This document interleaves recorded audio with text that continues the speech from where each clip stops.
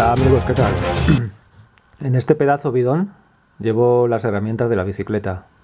No, no las llevo todas. Me refiero que, por ejemplo, el hinchador y las cámaras de las ruedas, pues las llevo aparte, ¿no? Este bidón es de 850 mililitros. Está fabricado en Italia y tiene esta particularidad que tiene un pequeño vaso. Y luego ya el resto del bidón. Mirad aquí llevo pues un pequeño kit de herramientas de llaves Allen destornillador estrella. Tengo también un destornillador plano y algunas llaves para de radios. Luego aquí tengo unos velcros unas gomas una vela. Para que os preguntéis qué tiene que ver una vela. Pues bueno también mezclo con las herramientas de la bici también como mis rutas son tan largas y por tierra desconocida aunque bastante habitada la verdad que en Alemania está todo súper poblado. Pero bueno no sé cualquier cosa puede pasar no una pequeña lija y algunos parches de la bicicleta y bridas. Aquí dentro llevo una sencilla cuerda.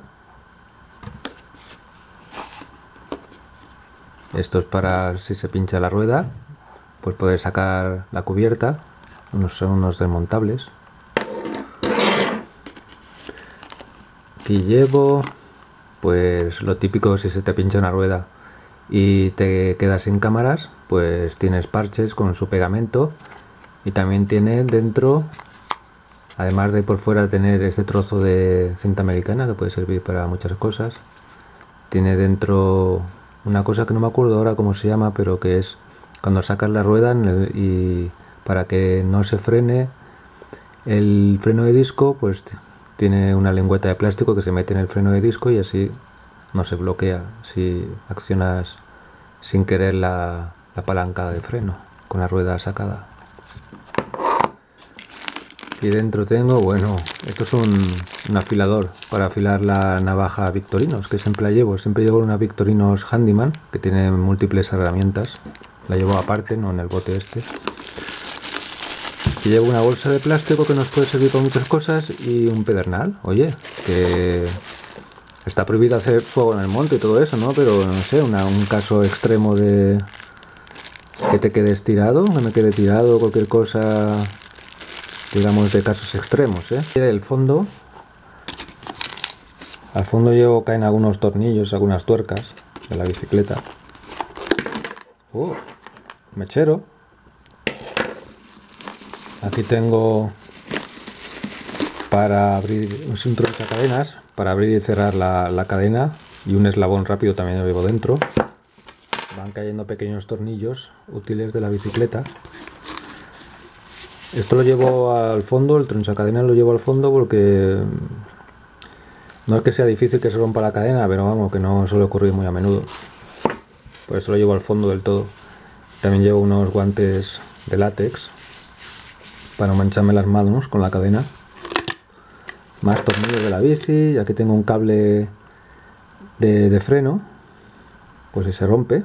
Que también bueno podría servir también para cambio para un cambio de, marchas también. Pero bueno para hacer una chapuza en ruta ¿eh? y nada ya está todo. Eso podría añadir más cosas y tal pero de momento esto es lo que llevo. Y no está nada mal. Ah y se me olvidaba una cosa eh, en la tapa llevo en la tapa, ¿veis? Con pega con celo, llevo dos clavos y un par de agujas. Y yo siempre llevo mochila y me resulta muy cómodo y tal. No es una mochila muy grande y la verdad es que no noto, aunque me haga 100 kilómetros, no noto molestias en la espalda. Siempre llevo esta manta térmica dentro. Una manta térmica de 2 metros 20 por 1,40, 200 gramos pesa, reutilizable y además para emergencia es, además de para emergencia es para tiene múltiples utilidades.